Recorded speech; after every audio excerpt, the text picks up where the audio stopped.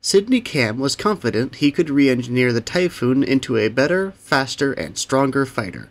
So, as the Typhoon was being put through its paces, Sydney Camm developed a derivative initially called Typhoon 2 with this very goal in mind.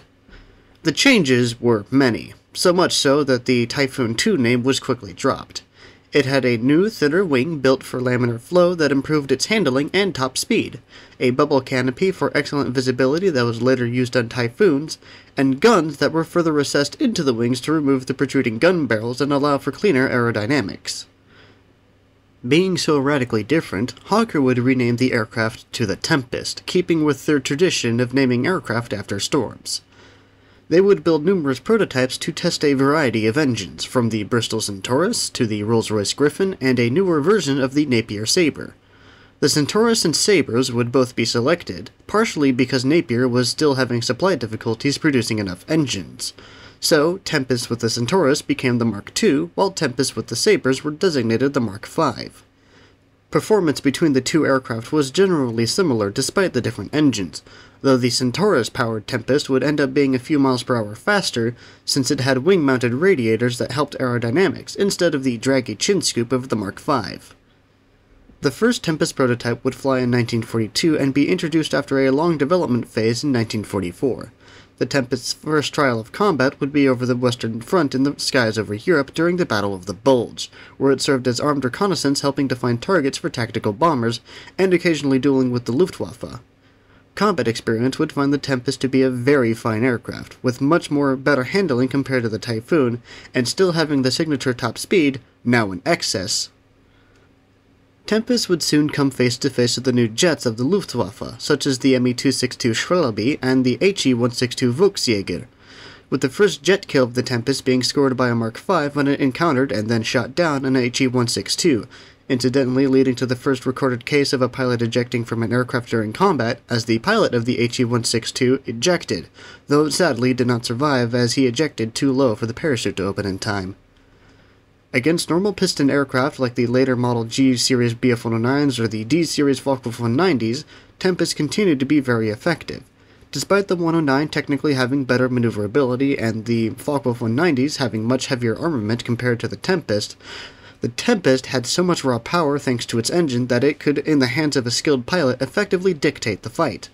Couple this with late war German pilots being much less experienced than years prior, and you have the explanation for how, despite less than two years of service in World War II, the Tempest scored over 250 kills for only about 30 losses, establishing a very respectable 8 to 1 kill loss ratio.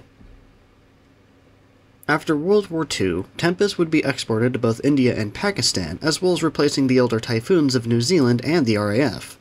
The RAF actually loved the Tempest so much that they made it their standard fighter, over the Spitfire, and would keep it until the development of the then in progress Gloster Meteor and de Havilland Vampire were more mature. Tempest would never fire their guns in anger in Korea, though would see brief combat during the early parts of the Malaysian emergency, during which pro-communist Malaysian forces attempted to separate themselves from Britain to form an independent state. Of the nearly 2,000 Tempests built, only 12 surviving examples exist today, all of which are either on display, under restoration, or in storage. Despite entering the war towards its end, the Tempest served admirably and shined as an example of what Sydney Camm had wanted all along when he first drew up the Typhoon. However, this is ironically not the end of the Tempest's legacy, as another derivative of the aircraft would be developed and adopted by the Fleet Air Arm of the Royal Navy. Initially built off of a modified Tempest Mark II that was called the Fury, the Sea Fury is the penultimate version of the Tempest that introduced a much more powerful Centaurus engine with much more modern knowledge of aerodynamics, and rugged construction suitable for carrier operations. This version would last for much longer than the Tempest, remaining in service until the late 60s and continuing to live on through the air racing world, where they became very famous for their insane top speeds and striking, recognizable silhouettes. We shall, however, cover the Sea Fury in more depth when we go over the Royal Navy, but for now, that is the end of this episode on the Hawker Tempest. As previously stated, this is uploaded alongside the episode on the preceding Hawker Typhoon, so if you haven't watched that yet, I would highly encourage you to do so. A poll will be posted afterwards to vote on the next aircraft to be covered. The rules are the same as before, with the top two being scheduled to be covered, the third being kept for the next poll, and the next poll being after the two episodes. But, for now, that is all for me. Have a good day, and thank you for watching.